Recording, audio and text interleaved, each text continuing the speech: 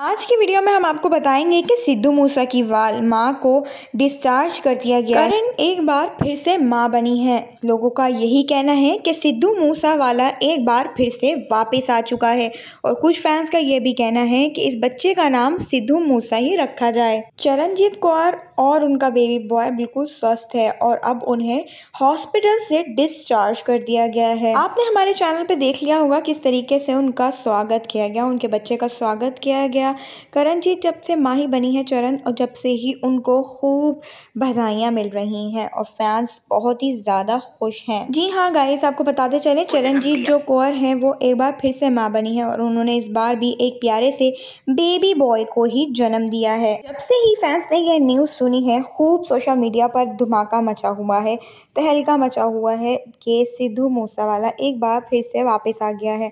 आपको ये न्यूज़ सुनकर कितनी खुशी हुई, हमें कमेंट्स में ज़रूर बताइएगा। और हाँ चरणजीत को और उनके आने वाले बच्चे के लिए सोशल मीडिया पर खूब बधाइयाँ लिखते जाएगा और ब्लेसिंग लिखते जाएगा ठीक केयर बाय